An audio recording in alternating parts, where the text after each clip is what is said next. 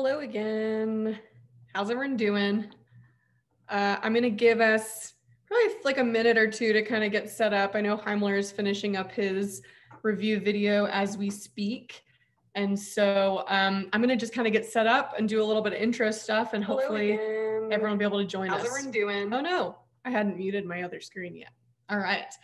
Um, so welcome to the last of our content cram sessions.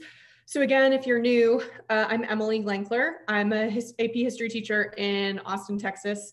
And I also have a podcast and like a website called Anti-Social Studies. So I've been doing these cram sessions for the last few days.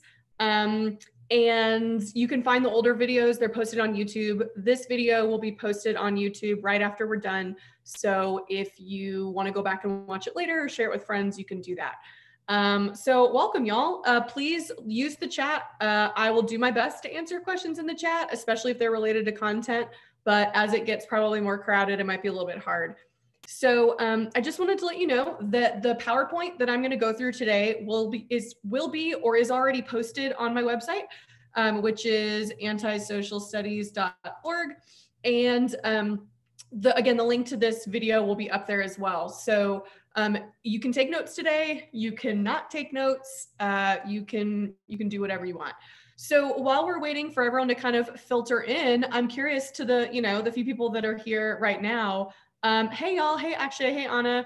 Um, hey Amal. Uh, if y'all have any specific questions, uh, kind of before I launch into my crazy content uh, cram session. Again, today we're focusing on 1750 to 1900. Um, so if you do throw them in, in the chat. Also, I want to let you know that tomorrow at this time at three, I am going to be doing like an AMA. So basically, I posted on my Instagram stories where you can submit questions to me about anything related to the WHAP exam content, but honestly, mostly probably like rubric stuff, um, essays, timing, that sort of thing. So make sure you go onto my Instagram account and find my story where you can send me questions. And then I'm going to basically answer as many of those as I can in an hour tomorrow from three to four. So um, let's see. A few people are already asking, like, what do you need to know about Enlightenment and scientific revolution? Um, Renaissance, Protestant Reformation. Here's the trick. Uh, they cut out a lot of that stuff from from the content this year. It's basically most of that is useful as context at this point. So the Renaissance itself is not a thing we actually really taught explicitly, at least in my class. But the Renaissance could be helpful as context for like changing culture. In general, Renaissance, Enlightenment, Scientific Revolution, Protestant Reformation are all just a sign of growing secularism in Europe, meaning people are moving away from doing just exactly what the church says and not questioning anything else. And they're starting to think more about their human experience. So we first see, see that through art in the Renaissance. Um, with instead of painting baby Jesus, we paint the Mona Lisa. And then we start to also observe the natural world around us and come to some conclusions about science and government. So, really, those events in European history, that's more AP Euro stuff. Um, for our purposes in WHAP, that could be helpful as context, like talking about what other things are happening at the time, but it's not really a main focus anymore. Okay.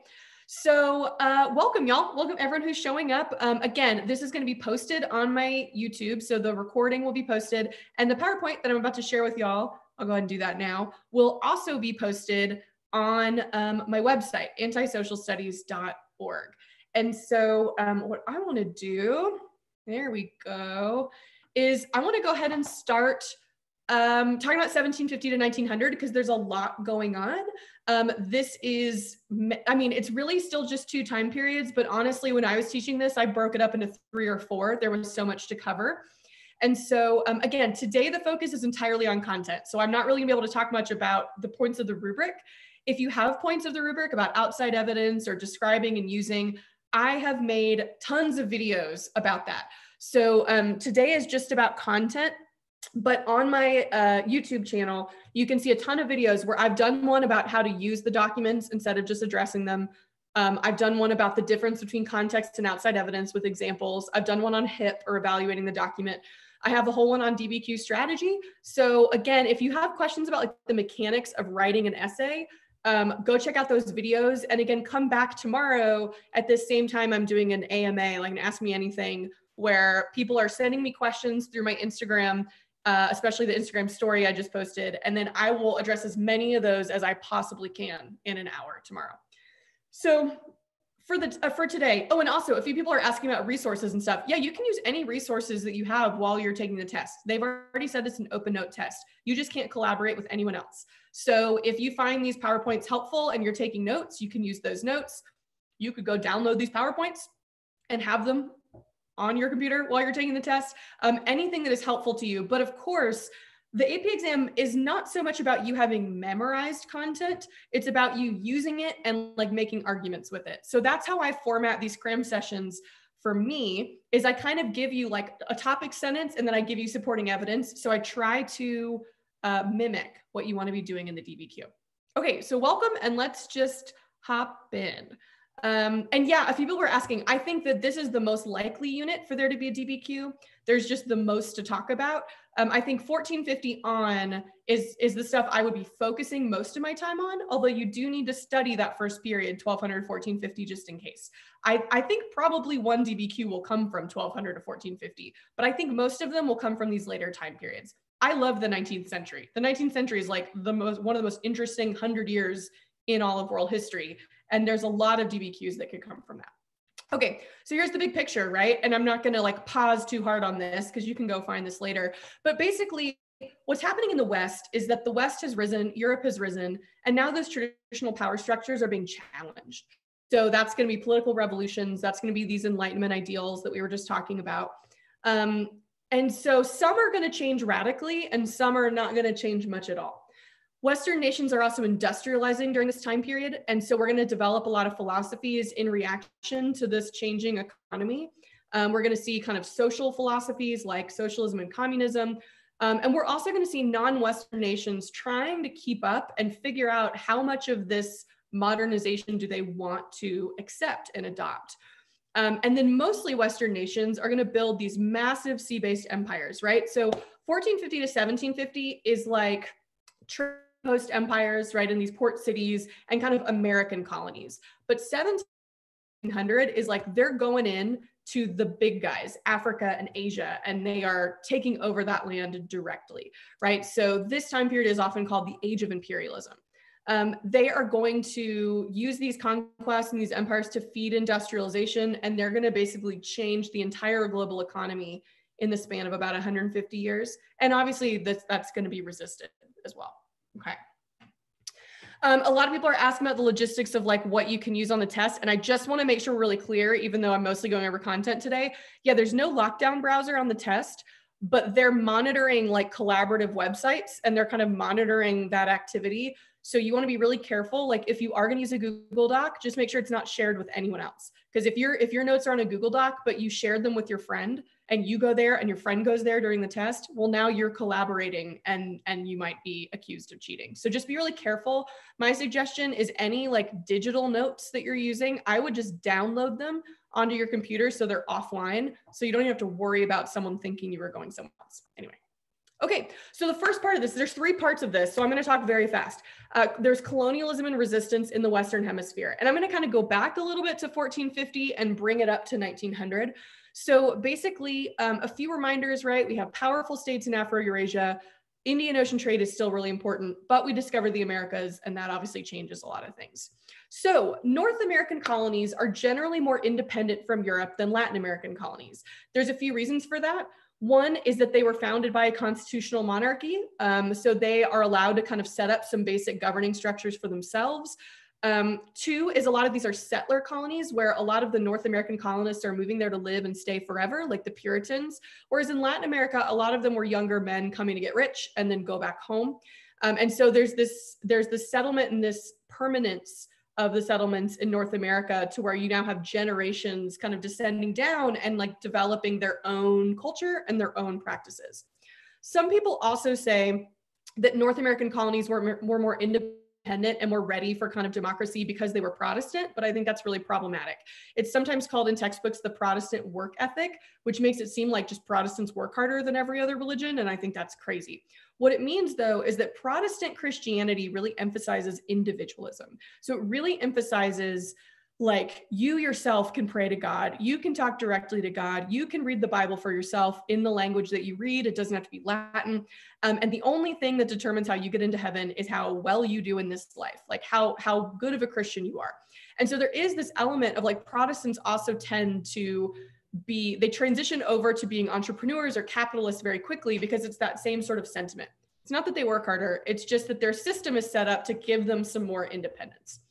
Um, and so all these North American colonies, which are going to become mostly the United States, basically had 100 or 150 years of practice governing themselves before they're going to rebel. This is different than in Latin America, where they were still governed by an absolute monarchy of Spain.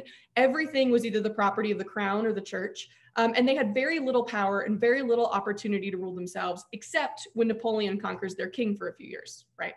So again, a lot of this is stuff that is mostly going to be like context or helping explain why other things occur. Um, a common opportunity for complexity is let's say you were talking about the causes of revolutions um, and you wanted to that or the effects of revolutions and you wanted to say the American Revolution set up a more stable government than the South American revolutions. Complexity and making a good argument would be saying why, and you could bring some of this stuff in. So don't stress too much about like American history, but um, European colonizers were met with indigenous resistance from the beginning. Here's just a few examples. So we have in New England, the American colonists were, were met with resistance from in Metacom's War. Do you need to know any details about Metacom's War? No, you just need to know that it was Native Americans rebelling and fighting against the American colonists and they lost, right? Um, in the Inca, they had to fight for 40 years before the, before the Spanish conquered the Inca. And later on, we're gonna have Tupac Amaru II, who leads another rebellion. It fails. Uh, the one that is successful, so I think this is a really cool example to know, is that um, Queen Nanny of the Maroons. So she was a previously enslaved woman. She became a Maroon or like an escaped slave or a free Black who set up these societies. She set up in Jamaica. Um, and she became a leader of this maroon community and she actually like fought the english for years and got her town some autonomy she's now on the $500 bill in jamaica so that's like a rare example of a successful indigenous resistance, um, which is cool. Okay, Woo, talking fast. European colonizers were also met with colonial resistance, right? So the American Revolution. I'm going to just move on because I think we know the American Revolution. Declaration of Independence is a very important document. It really sets the groundwork. It is the first real document that puts into action a lot of these Enlightenment ideals and a lot of other founding documents and revolutionary documents basically copy and paste. For example, the French Declaration of the Rights of Man was written by Lafayette. I made a whole music video about him because I'm obsessed with him. And Lafayette was like good, friends with Thomas Jefferson. So he literally like asked him for help writing their declaration. So anyway. Latin American colonists were inspired then by the American Revolution. So if you're writing an essay about revolutions, about Latin America or the French Revolution or later movements, super easy context is always the American Revolution. The American Revolution is kind of the first. Um, we show that you can fight back against this like big mercantilist British Empire and win. Um, although we're not actually going to institute a ton of change, as we'll see. So a lot of local leaders around Latin America capitalized on chaos in Europe as Napoleon was Napoleoning around Europe to try to assert their own independence. So these are three kind of the famous leaders. There are more. There's Simon Bolivar. There's also Juan de San Martin. Um, and so uh, these are led by Creoles. And so in a lot of ways, oh, Heimler's here. Hey, Heimler, how's it going? I was watching yours too. It was awesome. Um, okay, so um, a lot of these are Creole led, and, and in a lot of ways that means they're similar to the American Revolution. I like to explain revolutions. When I teach this in my class, I just draw a ton of triangles, and my students are like, oh my God, please stop. And so I say in most societies, right, you have the ones, you have the twos, and you have the threes. This is gonna look like a toddler did this, but um, but so what happens is in most revolutions, the twos lead the way and they rile up the threes and they're like, doesn't this suck? This sucks so bad, right? And the threes are all like, this sucks. And then the twos become the generals and whatever. And all they do, oh, is just get rid of the ones. I meant to just erase that first thing. But so all they do is end up with this. So the ones are now gone, but like now the twos are on top and the threes are still at the bottom. It's not very radical, not very revolutionary. So in the American Revolution, this happened, right? George Washington was not a peasant. He owned many slaves. Um, and same thing, Simon Bolivar is a Creole. On the casta system, it's the second to the top, right? And so all they do is get rid of the peninsulares, but they still have this kind of rigid structure and a lot of people at the bottom. So in a lot of ways, some of those revolutions were not actually that radical. They didn't really change much about the social hierarchy. However, oh hey complexity uh, one exception would be haiti right? That's why haiti is so important is because it's an exception in a lot of ways. It is like really kind of the first successful large scale slave rebellion um, and it sets up the first black republic. Uh, and so this is an example of like they literally flip the social hierarchy on its head which also explains why Haiti is less stable. Its government is less stable in the, in the following years because obviously the people at the top now, by definition, were not given any opportunities to rule themselves because they were enslaved. Um, Mexico is not something that the College Board really talks about a lot, which is crazy to me, but Mexico is kind of a mix of both. So it started off pretty radical. Father Hidalgo tried to get the peasants and the indigenous people to overthrow the Spanish. Once the Creoles realized they were winning, the Creoles just switched sides and joined them. So it ends up being not super radical the point is that this is one of the things that the AP exam wants you to do is they want you to evaluate relative to each other. So if they ask you a question about the impact of the revolutions, yeah, you could just say the impact was they all got independence, but that's super simple. A more complex answer would be to say, well, they all got independence, but some like created more radical change than others. Here are the ones that more radically changed. Here are the ones that didn't, right? Um, okay. So we also see, um, I just want us to situate the United States. As soon as the United States becomes a country, we immediately basically become Europe. We basically start trying to become Europe as much as we possibly can. And I want you to notice, if you've been paying attention to my last few cram sessions, um, the United States has been paying attention too, and just adopts all those kind of traditional elements of state building, and they just do them really quickly in the 1800s. So we're a small state that rose due to trade and innovation right? New England, shipping and trading, the South, the cash crops. We create a strict social hierarchy based on race, right? We have chattel slavery with African Americans, we have Native Americans forced onto reservations, and we, over time, throughout the 1800s, build a powerful empire over a diverse landmass. I put empire in quotes because it's not technically empire uh, because we annex the states, but like y'all, it's an empire right? I mean, like we're conquering Mexico, we're conquering Native Americans. Um, we become officially an empire in 1898 with the Spanish American War when we take Puerto Rico and Guam and the Philippines. But the point is, I just want us to notice that a lot of times we forget that the United States is part of world history.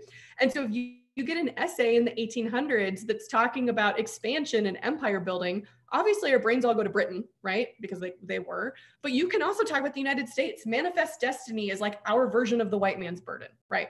So anyway. Uh, okay, so now we trans transfer over to revolutions in Europe. You notice I didn't talk about the French Revolution. Oh, yeah, um, someone in the chat's asking about Benito Juarez. Benito Juarez is a great guy to know. Um, he comes around in Mexico after the revolution. He's the first indigenous president of Mexico, and he's very liberal. Um, Mexico follows the tendency that a lot of Latin American countries do, which is where they keep going back and forth between like very liberal um, governments that are trying to like equalize the hierarchy and redistribute land to peasants and stuff, and then like strict military governments. And the key is which one the United States wants. And spoiler alert, the United States throughout the 18 and 1900s wants the strict military capitalist government. So yeah, you have someone like Benito Juarez who comes along and is trying to institute change, but then the military steps in and we have a dictatorship under Porfirio Diaz None of these are things you should panic if you don't know who I'm talking about. Again, you don't need to know everything. You need to know enough to support your argument. So if you're going to make the argument that local leaders capitalized on chaos in Europe during the Napoleonic era to assert independence, well, pick one of these three and make that argument, or ideally two. So don't freak out if you're like, I don't know who Miguel Hidalgo is. That's okay. Just make sure you know who Simon Bolivar is. Okay, so you notice I haven't talked about the French Revolution yet. I'm going to lump that in more with kind of European developments because, you know, it's in Europe. So the rise of Napoleon created a need for international cooperation. Actually, fun fact, I kind of just skipped the French Revolution because so does the College Board. So uh, the French Revolution is now purely in the realm of AP Euro. We talk about the French Revolution as a um, it's inspired by the American Revolution. Their document is inspired by the Declaration of Independence. But really, the important impact of the French Revolution for world history right now, because they end up back with a monarch, right? Not a lot actually changes, is Napoleon. So the rise of Napoleon out of the chaos of the Reign of Terror, he then Napoleons around Europe and tries to conquer everywhere. And that chaos does a few, it sets off a lot of chain reactions. Again, another common context I see is Napoleon. No, you can trace a lot of things back. It's like degrees of Kevin Bacon, which y'all might not even know who that is now. You can do like six degrees of Napoleon and trace a lot of different events in the 1800s back to Napoleon and have that as context. So when he goes around and conquers, he then um, first he is not really paying attention to his colony Haiti. One, so they rebel. Two, he conquers Spain and puts the Spanish king in prison, and so the Latin American colonies kind of rebel on his behalf, but then are like, but actually we just want to be independent anyway. But then he obviously tries to invade Russia in winter, and it's a terrible idea. And he loses. He gets exiled. He comes back. He loses. He gets exiled. So um, the big thing here is that Napoleon kind of like in a lot of ways is a wake up call for these European powers. These European powers have been so focused on each other and their own region and fighting for Protestant versus Catholic and 30 years war and seven years war and blah, blah, blah. Napoleon is sort of like their Genghis Khan. He like wipes the slate is like, I've conquered all of you. And now I'm on. You got to figure out how you're going to like rebuild this region. And so this Congress of Vienna is a really important event where they basically all get together and kind of like they're going to do in the Berlin conference later with Africa, they kind of just divide themselves up. They say, look, we got the whole world to conquer. We don't need to spend so much time focusing on fighting each other. Let's just create this idea of like a European balance of power. We're going to draw the map so that no one nation becomes so much more powerful than the others that they can take over. You know, cut to Hitler. But anyway, um, and so they create germany is going to rise and sort of slowly get created out of this. This is why switzerland is a thing right in the middle of everywhere and very neutral. Um, they're going to kind of divide up a lot of these places and they're going to really promote the unity of like italy and germany to provide stability in europe. And so they basically say like let's just kind of keep this balance of power and now we can all instead of watching our backs all the time we can go out and just divide up the rest of the world. And the rest of the world is like we're good so uh, industrialization also begins in England. So you have this like rising kind of unity and um, you have this right, sorry, this rising uh, context of like unity across Europe. They're not fighting so many wars against each other. They can focus more on innovation. The, it starts in England for a lot of reasons. You can go find tons of resources on that. Essentially, it's like coal. They have a lot of money from the slave trade and they have colonies and waterways. But and they have a, a constitutional monarchy. There's a real big reason why capitalism rises more quickly in dem- democratic states or constitutional states. Because if you're a business person and you want to invest and start this new business, you're more likely to take risk if you feel like your property will be protected by the Constitution. So if you're in Spain at the same time, like the king can do whatever he wants. He's still an absolute monarch. So that's why you don't see the rise of industrialization or kind of early capitalism in other parts. It's not that Spanish people are less likely to do these things. It's uh, or less like able to do these things. It's that in a place like England, you have the rule of law. You've had it kind of since the Magna Carta and so people feel more comfortable taking risks. You also have a government that has for a long time sponsored these sorts of risks, like with joint stock companies.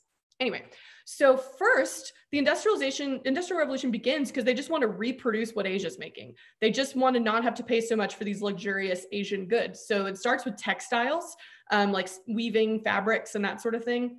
And it also starts with porcelain. So Josiah Wedgwood is a really important dude. Um, he made like tea sets that um, essentially mimicked Chinese, right, fine china porcelain. Um, but he, he kind of used the principles of mass production for the first time. He kind of divided up the labor, the labor, and he made it to where things could be made more cheaply. So now, again, connecting different things together, the rising middle class in England, this changing social hierarchy, they want to have the stuff rich people have, but they can't afford it. Rich people get actual fine china from China. Middle class people get Wedgwood china. Um, so then it moves on and they're like, oh, this technology could be useful for more than just like fabrics and porcelain. And they start creating things like the steam engine and steel. And so the first industrial revolution, the early part is more focused on these sort of like kind of luxury goods and, and just developing the technology. The later industrial revolution that starts kind of in the 1800s is going to be about like trains and steamboats and that sort of thing. So,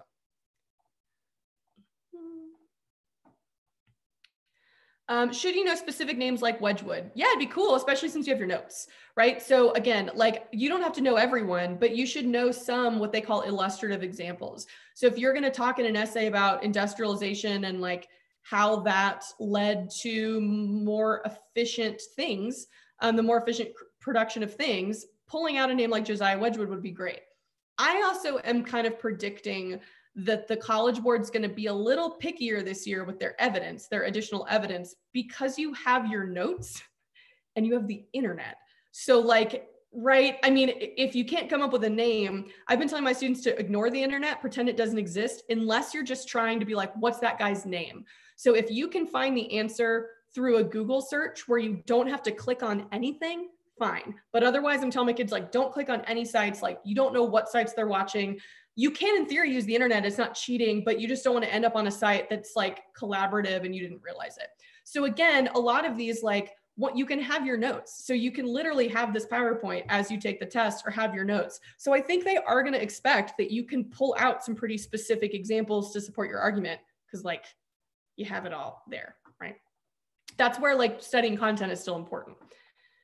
So industrialization spreads across Europe and other parts of the West. And I just want you to notice it often spreads first to states that are relatively young. So some of the first states it spreads to are the US, Belgium, and Germany that are all kind of creating their state as industrialization is happening. And so it makes sense that as they're kind of building their new state, they're going to adopt the newest technology, as opposed to a state like China or the Ottoman Empire that's been around for a long time and their systems are like entrenched going to be harder. They're slower to change. It's going to be harder for them to get going.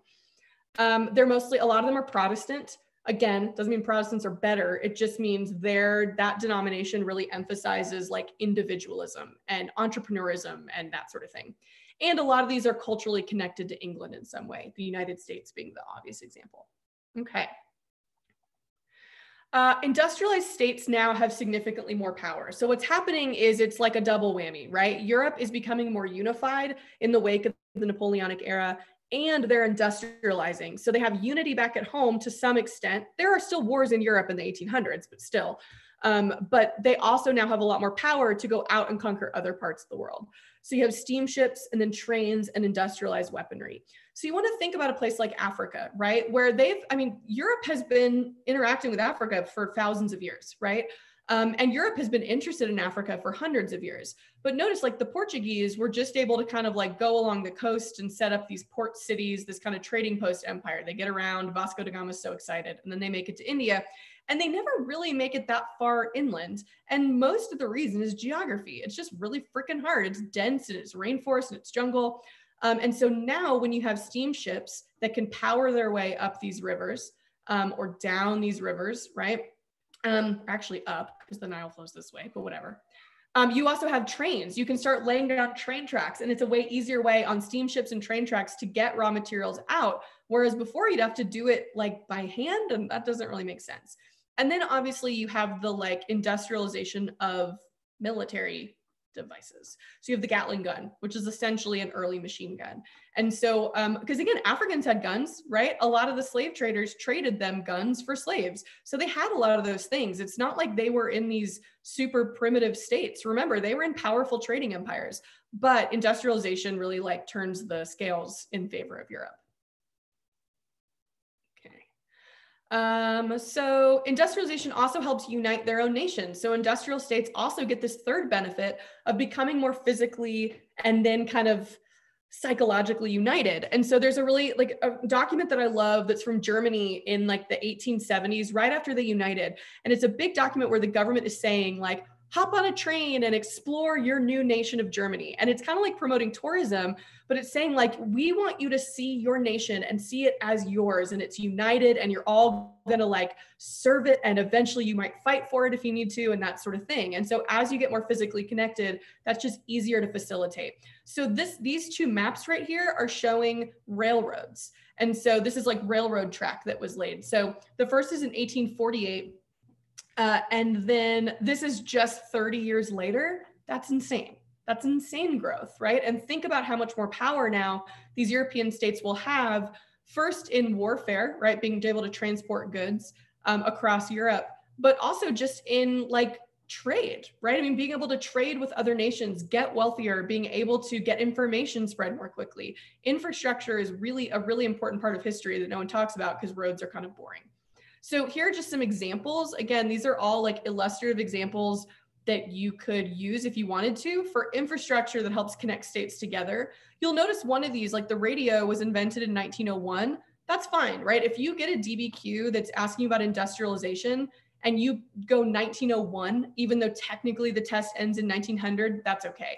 Now, if you talk about planes, well, no, that's not really part of it, or cars or whatever. Um, but so if you're talking about on this prompt, right, you can go a little bit beyond the time period and they'll probably be pretty nice to you.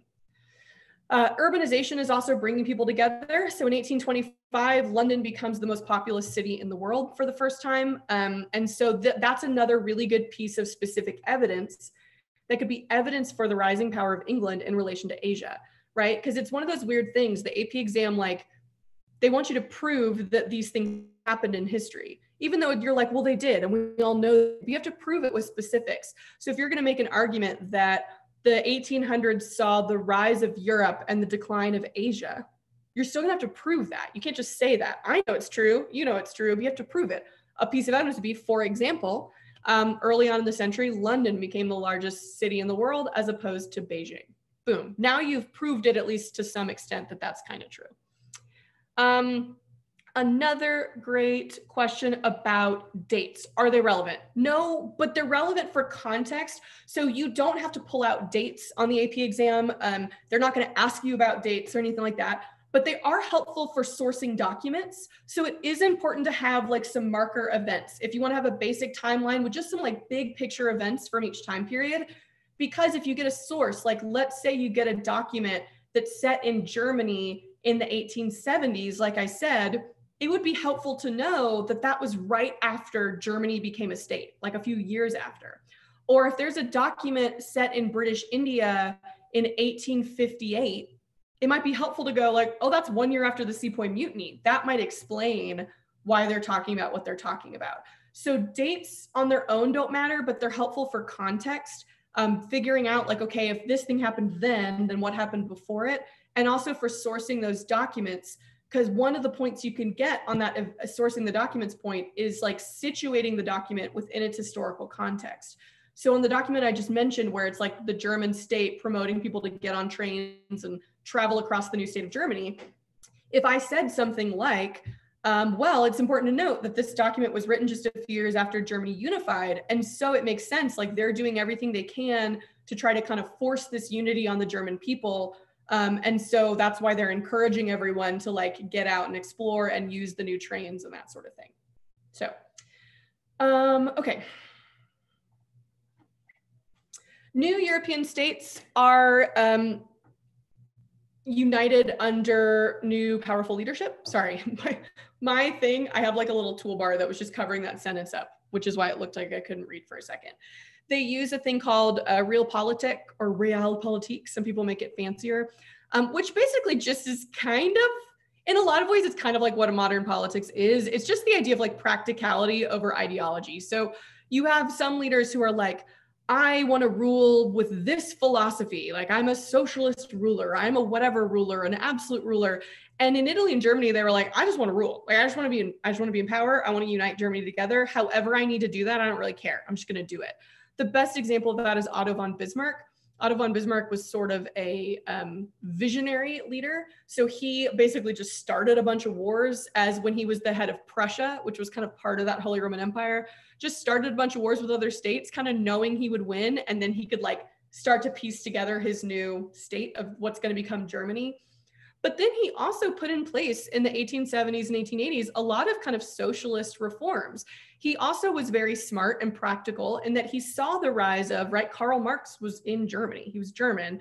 And so he saw the rise of these movements of like people predicting that the industrial workers are not going to be okay with this bad treatment for long and they're at some point going to rebel. Otto von Bismarck was aware of that. So again, he didn't really care about ideology. He just said, what can I do to make my state united? So Otto von Bismarck also put in place like an early version of healthcare, um, workers' rights and workers' comp, like all these things to keep workers happy, partly because he read Karl Marx and was like, oh, shoot, I don't want that to happen here. Um, and so Karl Marx just like packs up his bag and moves to Russia, not physically, but ideologically. So that's realpolitik. It's sort of like, I don't really care as long as we get stuff done and as long as we can be a strong nation. Um, Count de Cavour did the same thing in Italy. I know very little about him. I just know he kind of helped unify Italy. So that's a thing too. All right. Um, other states also adopt industrialization and Western style um, practices to maintain power. Um, so I put these three states next to each other because I really do want to have us understand, right? Like, even though we're not going to talk about the 20th century, that like the 20th century is created obviously in in the 1800s and so i want us to notice how similar these three states that are going to become three of the most powerful states in the 20th century um, yes we will talk about the scramble for africa don't worry. Um, so how similar these three states are down to like the years. So the united states abolishes slavery in 1863 there's many reasons for that but also it's sort of we're modernizing. Our economy is modernizing. One of the uncomfortable truths is that we partly abolished slavery in the 1860s because by then we kind of could. We had enough technology that we didn't actually need slave labor as much as we did 50 years earlier. Russia abolishes their serfs in 1861, two years earlier, right? Um, Japan abolishes their feudal classes, including the samurai. Uh, let me actually look this up. Abolition of samurai in Japan uh, in, let's say, 1868. So, literally in the same decade around the world, in the 1860s, you have three states that are getting on board and are like, we got to get with it. We got to cut ties with some of these old, more traditional kind of feudal structures and like move towards the future. And so, literally, we like abolish slavery, abolish the serfs, abolish the feudal classes, and then turn around and like start building railroads and start industrializing.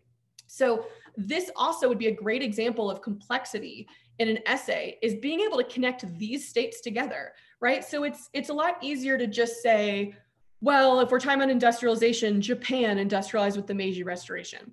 But what would be even cooler and what will really impress the graders if you can say, to contextualize this, a similar process was happening in the United States, right? And it's two things that like on the surface aren't that connected, but you're showing that you kind of understand that this process was occurring kind of all around the globe at the same time notice that even though they abolish like slavery and serfs and that sort of thing, they still rely on some form of coerced labor, whether that's new immigrant labor that's paid very little, or whether that's kind of prison labor like in Siberia.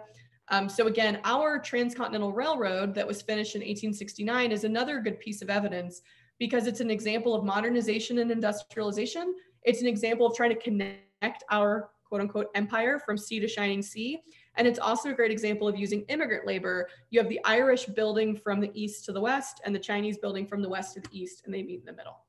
So um, yeah, we're going to go over and talk about like the, the big guys, the Ottoman Empire. We're going to talk about the scramble for Africa, that sort of thing in a second.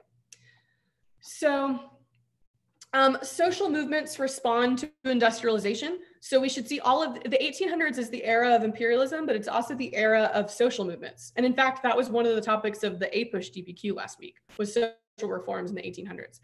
So you have the abolition movement. Um, that's closely connected to the women's rights movement because women get more politically active and informed kind of for the first time in fighting for the abolition of slavery. So then once they kind of get that, they turn around and use those same practices on themselves um, a lot of this starts with the revolutions, right? You have these enlightened revolutions where um, men are saying all these great things about equality and freedom. And meanwhile, half the population is like, that's cute. What about us? So you have documents like Olympe de Gouges writes the Declaration of the Rights of Woman. It is like a basically a satire. It's kind of like a big screw you to Lafayette's Declaration of the Rights of Man. You have Mary Wollstonecraft, who's an English Enlightenment philosopher who's writing a vindication of the rights of women um, or women that's arguing that like women aren't dumber than men. They're just not allowed to like learn what men are allowed to learn. Um, and then you have sort of the beginning of the women's suffrage movement in the world but especially in the us is this seneca falls convention in 1848 so again i'm putting these dates in here just because context is key. And so if you're reading a document and it is written by an american woman in the 1850s and she's talking about voting well you might go this makes sense because she probably like we just had this convention that established that like women should have the right to vote. And so again dates don't matter except for being able to situate events within their their time period. And i will say dates are the most useful in the 1800s because so much happens right? So much stuff in the 1800s that i find at least writing down some of these dates or again on the test you can google the date. What date was the Seneca Falls Convention and just find it um, just because a few years can make a big difference, right? A few years go by and now Germany wasn't a thing and now they are a thing. or uh, slavery existed and slavery doesn't exist. And so that's where in the earlier time periods, I wasn't putting up a lot of years because we're talking more in big, broad strokes. By the time we get to the 1800s, there's like a lot going on and a lot of it's happening on top of each other. So there's a lot of good opportunities for context. For example, the same year as the Seneca Falls Convention, which was organized by Elizabeth Cady Stanton, the Communist Manifesto was published by Karl Marx and Frederick Engels. So again, this is these are all part of this like rising social movements responding to industrialization and kind of the dehumanization of workers and people and, and societies and communities as a result of the industrial revolution. Um, let me skim real quick. Oh, Trans-Siberian Railroad. Yeah, it connected Russia all the way over to like um, Manchuria, right? So it, it was a big threat to Japan and to China, which is by Japan's going to fight a war. They fight a war against China, win, and then they fight a war against Russia. So yeah, that's Russia attempting to kind of expand its influence into Asia, whereas we all have to sail there. The Russians just have to build a train train track long enough. All right. Whew. Okay, I'm going to pause for a second before we talk about the age of imperialism. I am going to um, kind of skim through the chat and just see there's anything else. We're going to talk about China in a second. We're talking about the Boxer Rebellion. Um, this PowerPoint, I think, is already posted on my website, but if not, it'll be posted right after this. Um, let's see. Yes, don't try for complexity. You either do it or you don't, but you shouldn't worry about it on Thursday. Um, let's see. And yeah, we're gonna talk about Chi Chi. Y'all are asking a lot of great questions about China. Just like, just chill. Just give me, give me a second, right? I promise I'm getting there. We talked about the revolutions. Now we're gonna talk about industrialization, or we just talked. Now we're gonna talk about imperialism. Okay. Um, so, woof. here are the different types of imperialism. Um, this isn't something you need to memorize. It's just something to be aware of that there are different kinds. Um, so in general, you just want to think about there's like traditional colonial imperialism, which is kind of what we think of. It's like another state saying, we control you now and you are kind of beneath us. Um, within that, you have settler and non settler colonies. And really, just what that means is like you have places where they don't maybe intend to stay there forever, or really the main purpose is to get raw materials out. And then you have other places where they're starting to like send some of their people to live. So the American colonies were a British settler colony. So was French Algeria. So was British South Africa, Australia. Basically, the places that are still kind of part of the British Commonwealth were mostly settler colonies. One of the reasons was partly just geography, latitudes. So you notice that, like the British, for example, settle in places that, in terms of their latitude, are more similar to like a Mediterranean climate. So they're like, eh, I don't want to live in like Central Africa, but I'll live in South Africa or New Zealand or Australia. Same with French Algeria. Algeria is beautiful and right on the Mediterranean. So basically places where they wanted to go and like take vacations. Um, for the most part, then in a non-settler colony like India or the Congo, um, the British or the European people that are there are just officials. They're there for a job. They're working to administer the empire, and then they want to go home at some point. So that's why you see more cultural syncretism and more like creating some unique culture or European culture kind of really influencing settler colonies, as opposed to these places where um, they don't necessarily set down a lot of cultural roots. Then you obviously have economic imperialism, which means um, you don't actually directly control a place, but you like effectively do. So it's the US and Latin America. The US and Latin America from the 1800s on, Latin American countries know that like whatever decision they make that has to do with the economy or trade or foreign relations the us is going to have something to say about it right and so they have to kind of operate within that sphere of influence they know that if they say something like let's nationalize the oil or let's nationalize the fruit company's land and give it to peasants they know the united states is going to have something to say about it or more likely is going to have some marines to like send in and overthrow you it's in the 20th century, but still. So that's getting set up in the 1800s. The Monroe Doctrine, um, basically Monroe in the 1810s, I can't remember the exact year, 1816, 1817. He basically says, like, hey, stay out, Europe, the Americas are ours. He says it like he's protecting the Americas as new independent states, but we all know it's really like, no, that's going to be ours one day. Um, yeah, a lot of people are asking. You can get these slides uh, on my website, antisocialstudies.org. I'll type it in here again. And then I'm also going to post um, this video on my YouTube as soon as we're done.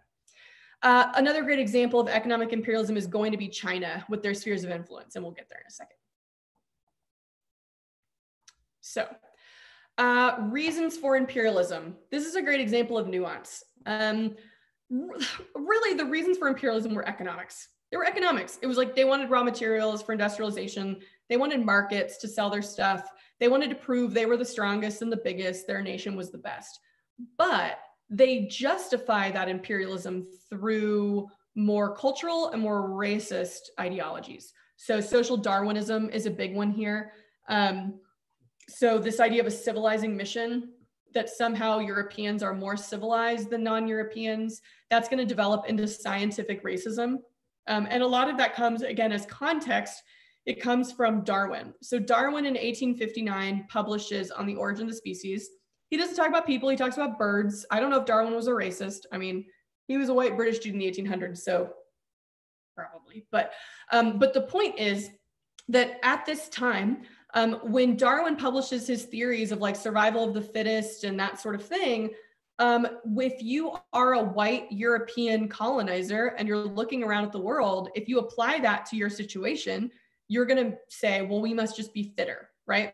And so, again, it's sort of the rise of this false science of racism. The idea, even that races are biologically different from each other, right? When they're really not.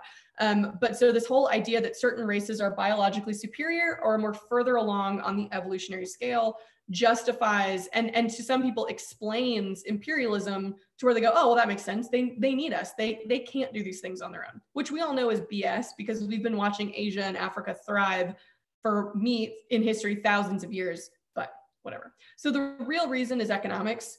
Um, they want raw materials for their factories and they want people to have to buy their goods and they want to convert people to become Christian. And a lot of them genuinely believe they're like saving their souls. So fine. But um, but for the most part, it's money. But then they use kind of cult this perceived cultural superiority to justify it. Uh-huh. Okay. Uh, here are two dinky maps that I made for my students. And I just figured I'd throw on here just to understand how resources are changing. so um, if you notice, like in the first era, 1450 to 1750, when the Europeans are going out on ships, they're mostly looking for luxury goods. They're looking for spices, they're looking for cotton, silk, tea, porcelain, kind of like the finer things because trade was very expensive and was very difficult. And so if you're going to carry something all the way back on this on one of those big like I don't know, Portuguese caravels or something, um, you're not going to bring back something super heavy that's not worth a lot. You're going to bring back silk. But now, because of industrialization and travel is cheaper and more efficient, it's sort of a circle. It's like a chicken and the egg. That means they can bring back more raw materials that might not have been cost effective before. And also, they need new types of materials to feed their industrial factories. So now we're looking for places that have stuff like rubber, uh, copper, palm oil is really important for like oiling and, and kind of greasing the machinery um, that sort of thing. And so you notice that that's why we're getting way more involved in places like africa. Africa is cursed because they are blessed with natural resources. Um, guano is really important in peru and i can't for the life of me remember why. If someone remembers why guano was like bat that's bat poop was important please tell me. There's some reason. Um, okay. Sorry that your brain hurts after both our videos. I totally understand. My brain hurts from just talking this long. Uh, how did a telegraph go under over water? It didn't. It went underwater. They buried it in the bottom of the ocean. Isn't that cool? Um, there's still like wires and cables and stuff that connect like the U.S. with Britain and stuff. So they buried these under the ocean and they laid these telegraph wires over time, which is so freaking cool. Um, and it was the important thing, right? Was to connect with their colonies. Okay. Guano is a fertilizer. Okay, that makes sense. Sure, helping crops grow. Awesome. Okay. Um, I just feel like, you know, you can find poop anywhere, but I guess guano is like, I guess Peruvian guano is especially good. I don't know. Um, the other thing that's happening too is we have human migrations occurring. I promise I'm getting to China and India and all those places in a second. Um, so as these empires grow, it's easier for people within the empire to move around. And in fact, a lot of times the mother country encourages that. So we see a lot of Indian migrations, right? Indian people moving to East and Southern Africa. Gandhi, for example, first practices law in South Africa. Um, we see Indians moving to Australia until they're not allowed to anymore. We see Indians ending up in parts of South America and the Caribbean as well. Um, and so places that were controlled by the British. Um, Italians go mostly to the United States Northeast and they go mostly to then Argentina. Um, and obviously you have like the Scott Irish coming along, um, partly after rebellion, failed rebellions. They come over and then help win the American Revolution. If anyone's watching Outlander, you know what I'm talking about. But also the Irish potato famine, other, other things make them come here. Um, another main one is Chinese immigrants because of the chaos happening in China, right? We're going to talk in a second about the Taiping Rebellion and all these different movements. So a lot of them leave and try to find better economic opportunities. A lot of them go to Southeast Asia, but a lot of them obviously end up in the Pacific um, in the United States. The Japanese um, are also expanding and they are kind of migrating for the purposes of possibly setting up colonies, which is one of the reasons why the United States very quickly annexes Hawaii kind of out of nowhere because we're like, oh, shoot, we want it before the Japanese get it. Um, and same thing, they're getting a little more involved. There's Japanese people in Cuba. Um, and so we're like, oh, okay, war with Spain, so we can get Cuba ourselves. So a lot of this is context too for understanding why the United States, for example, in the second half of the 1800s, really started branching out and like annexing some places that geographically don't make a lot of sense. It's because they were trying to um, prevent those places from being taken by other people that they maybe didn't want close to them. Then, of course, on the other end of this, we have reactions to these new immigrants. And so the two wor- best and worst examples are in the United States and Australia. So the United States had this rising um, movement called nativism, which does not mean Native Americans. The Native Americans were like, that's rich. It meant people who had been born in the United States, but were typically white. And so um, there was a rising, there was a political party in the 1840s and 50s called the Native American Party, but it was like a white, like racist party. Um, and so they start to kind of turn away and advocate for not allowing certain immigrants to come in. Our first piece of immigration legislation ever in our history was called the Chinese Exclusion Act.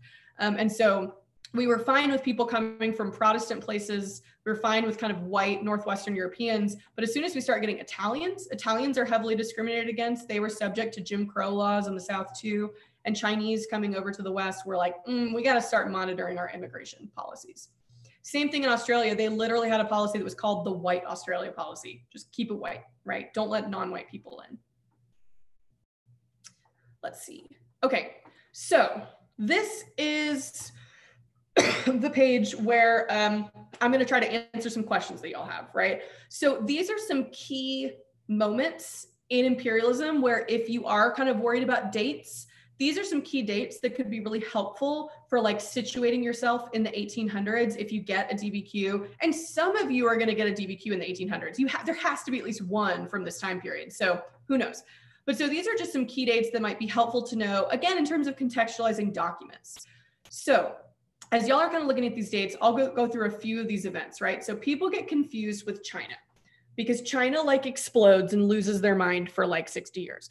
So it all starts with the Opium Wars, right? Um, I'm not going to go in detail about the Opium Wars, but it's England trying to rebalance trade by smuggling in illegal opium. Um, cool. Thanks, England. They fight a series of wars and England wins. And they win, they don't conquer China because they don't want to rule China, but they win special trading benefits. Um, they start to get like spheres of influence along the coast they get most favored nation status. Essentially, the British are now kind of dictating to the Chinese emperors what they want them to do, which, if you know anything about Chinese history, is insane. And the Chinese people are like, no, thank you.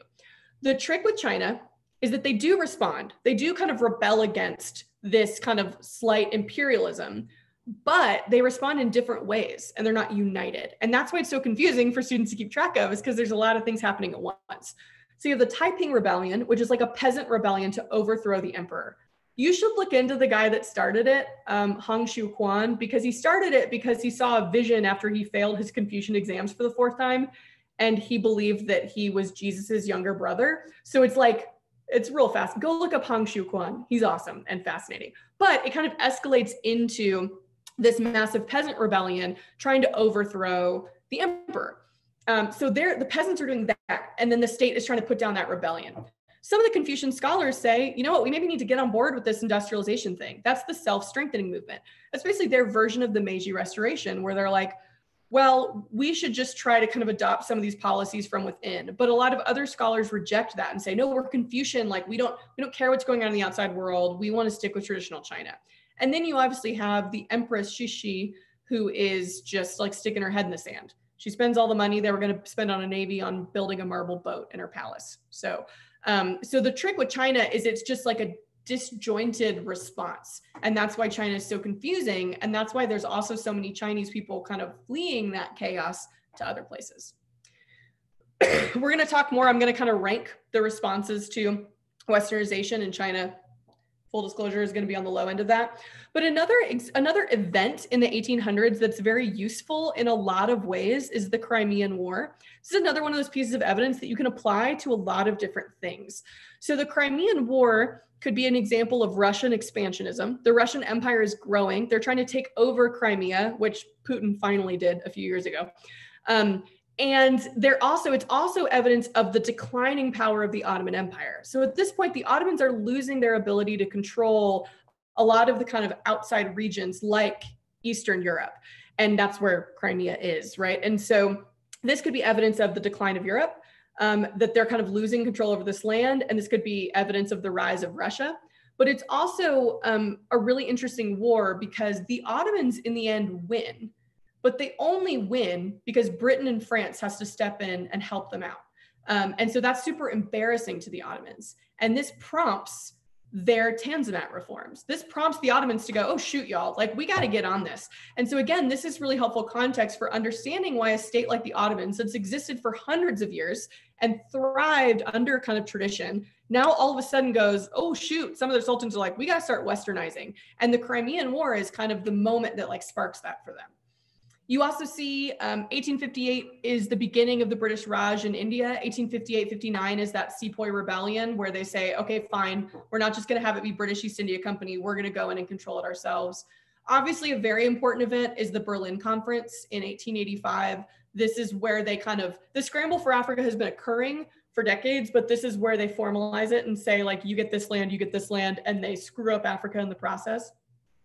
But you also have Japan. They found a colonization society in 1893 where they're starting to send people out around the Pacific to kind of settle there and maybe establish some ties to eventually become part of a Japanese empire. Uh, cut to World War II, US versus Japan. And then obviously the Spanish American War is sort of the beginning of American official imperialism, where we get control of Puerto Rico, Guam, and the Philippines, and we get indirect control over Cuba. Whew, okay, so Got a little bit more to go. Responses to imperialism, indigenous groups resist. Uh, you can look at this map later. Here are some examples of both. They resist with violence.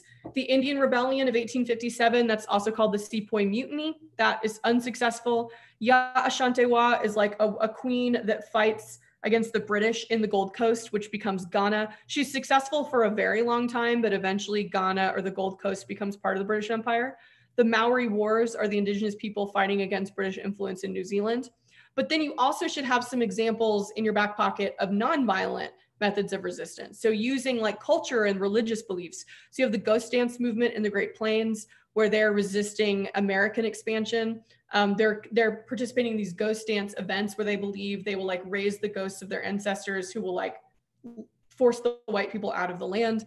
You have the Xhosa cattle killing movement in South Africa, which is um, not successful. They basically um, kind of sacrifice their cattle um, to kind of get the white men out of South Africa, which obviously doesn't really help that at all. Um, you also have like nationalist leaders, um, cultural leaders rising up. There are two great poets during this time that are also really great evidence for talking about art or poetry or nationalism, that sort of thing. You have Jose Marti in Cuba, who writes a lot of poetry inspiring Cuban nationalism, and Lola Rodriguez de Tio, who does the same thing for Puerto Rico. So um, this, these would be great examples of like rising nationalism spreading. It kind of starts in Europe, but it spreads to other parts and then comes back to like bite Europe in the butt, which again is an example of complexity to say like Europe becomes powerful because of rising nationalism, but they're also being resisted because the groups they're trying to conquer are also developing nationalism too. Okay. Um, state responses to westernization, we're kind of talking about these four big dudes. Japan's not really, but they're they're becoming one, right? These four big guys. And really here it is, right? If we're talking about stronger states, they have to decide how they're going to navigate this growing westernization. They're not going to get conquered outright by Europe, and they kind of know that. But they have to decide like how much are we going to adapt to the rise of Europe and how much are we going to keep our tra tradition? And on the spectrum from fail to MVP, right? China fails um, this kind of leads to the collapse and the end of Chinese dynasties as we know them. Um, that's what I talked about earlier. Russia does some things, but like not nearly enough. Lenin later is going to be like, no, had to do way more. They had some groundwork because Peter and Catherine the Great had both promoted Westernization and promoted some elements of this.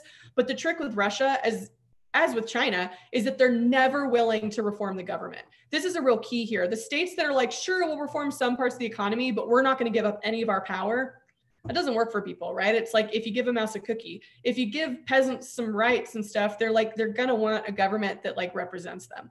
They do abolish the serfs, but like they don't do much else. Cut to Russian Revolution. Um, right in the middle is the Ottomans. The Ottomans do totally fine. I hate that they keep getting called the sick man of Europe because that's super biased. It was other Europeans saying that. Um, and they, they whatever. Um, the Ottomans actually really successfully reform. If you think of the Ottoman Empire if you think of like the end result as being the nation of Turkey, then they're incredibly successful. They do start losing power over other groups with rising nationalist movements, especially in Egypt and Greece and the Balkans. But they actually are able to create kind of what's going to end up being a powerful Turkish state that's obviously smaller. The Tanzimat reforms promote religious equality, they promote education for all, um, they promote westernization and modernization. They're sort of rejected in some ways from some of the Islamic scholars, but the government still pushes it through. And they try to promote this new type of nationalism called Ottomanism, where they try to say, like, we're all Ottomans. Like, yes, you might be different ethnic groups and different whatever, but we're all part of the Ottoman Empire. It's cute and it's a good try. It works in Turkey for the group that are like, they speak the same language, they're a similar ethnic group. But like people on the fringes of the Ottoman Empire, like, we're, we're not Ottomans, right?